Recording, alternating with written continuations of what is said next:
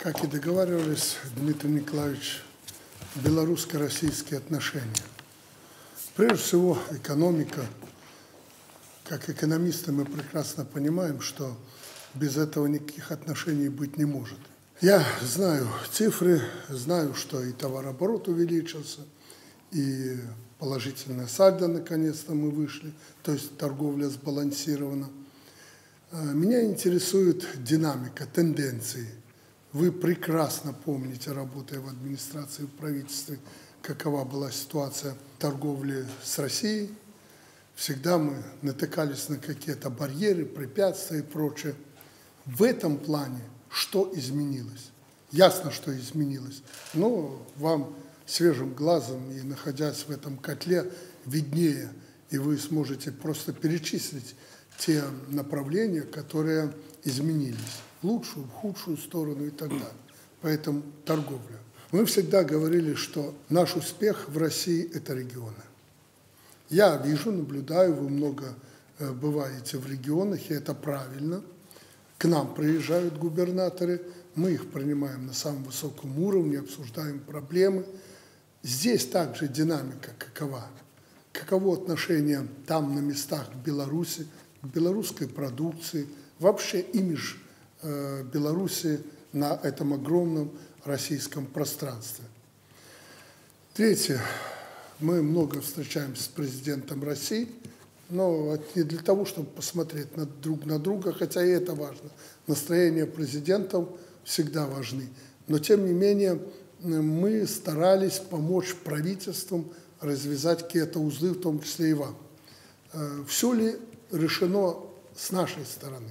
Есть ли какие-то вопросы к президентам и к правительствам? Как мне докладывает правительство, ну, почти нет никаких проблем.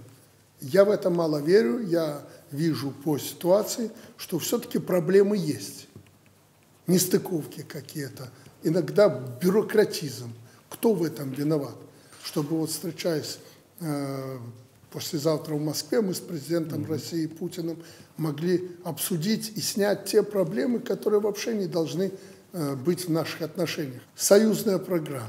Очень кратко, много об этом говорим, но mm-hmm. больше меня интересуют здесь конкретные программы, как мы их называли, импортозамещение и так далее. Помните, до полутора миллиардов долларов э, Россия э, готова была, и я уверен, и сейчас они отказываются, если где-то не докредитовали до этой суммы, готовы были выделять средства, кредитные ресурсы, для того, чтобы э, заместить те направления, которые оголились после ухода и американцев, и Запада в целом, и других недружественных стран с наших рынков, ну, типа микроэлектроники. Поэтому вот это направление.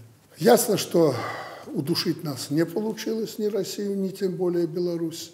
И это благодаря во многом тому, что все-таки мы с Россией э, вместе э, взялись тянуть этот ВОЗ.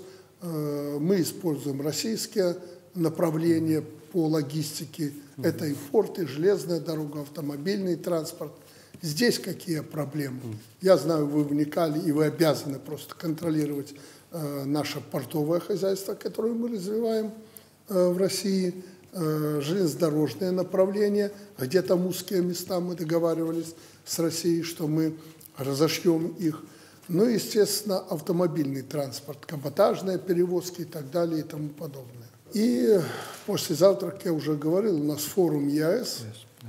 Э, хотелось бы знать вашу точку зрения, э, на что надо обратить основное внимание на этом форуме и переговорах в рамках ЕАЭС. Ну, вы как представитель Беларуси в интеграционных структурах, наверное, лучше других знаете ситуацию в этом плане.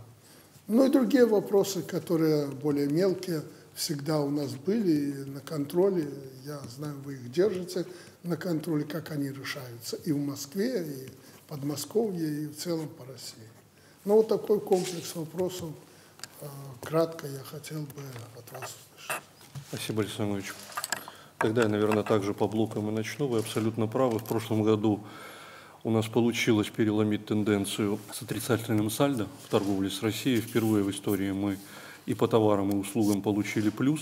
В первом квартале этого года ситуацию еще более улучшили. У нас на сегодняшний день суммарная сальдо плюс 896 И миллионов. по товарам мы И в по услугам, и, по, да. и в целом, И в целом плюс. да.